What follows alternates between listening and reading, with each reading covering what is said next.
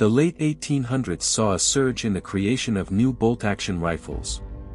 Surprisingly, American gun manufacturers were not at the forefront of this development.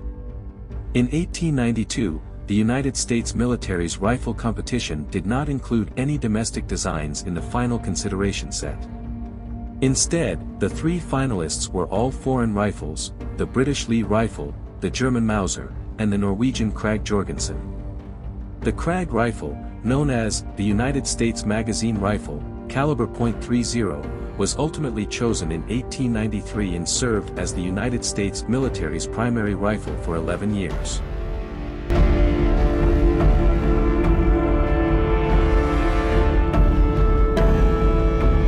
The 1890s marked a time of global imperialism, with America emerging as a powerful nation.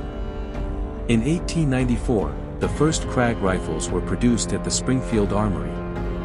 From April 21 to August 13, 1898, the United States engaged in battle with the Spanish Empire in the Caribbean and the Philippine Islands. The U.S. Navy dominated the Spanish fleet at sea, However, the U.S. Army was ill-prepared for the conflict on land, with only 25,000 troops available at the start of 1898. Despite the sudden rush of nearly 100,000 volunteers, there were limited Krag rifles available, with most National Guardsmen using the M1873 Springfield rifle. The Krag rifle, a modern infantry weapon, was a significant asset during the war.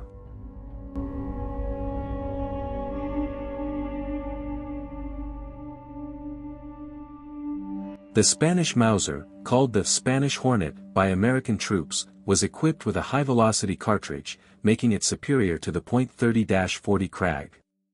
The Mauser rifle could be loaded with a faster system than the 1x1 loading of the Krag magazine.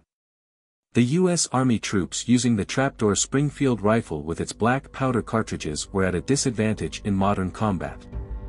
The Spanish Mauser earned its reputation at the Battle of San Juan Hill, contributing to many American casualties. American marksmanship took the hill, but the high casualties led to the replacement of the Krag rifle and the development of the M1903 Springfield rifle and .30-06 cartridge. The story of our war with Spain and the martial spirit describe the deadly impact of Mauser rifles on American troops, as well as their return fire.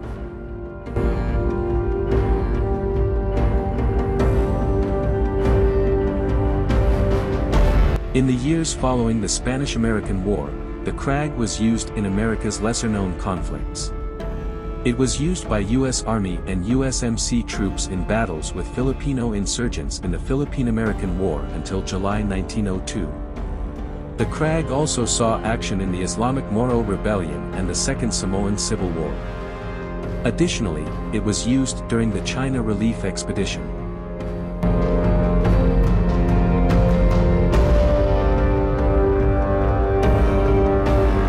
America was unprepared for World War I and the U.S. Army lacked modern weaponry.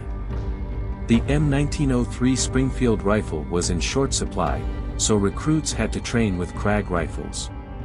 Over 150,000 Krag rifles were stored in American depots and later issued to training organizations. Some Krag rifles were sent to France, but were quickly replaced by Springfield or Enfield rifles. After the war, Many Krag rifles were sold to National Rifle Association members.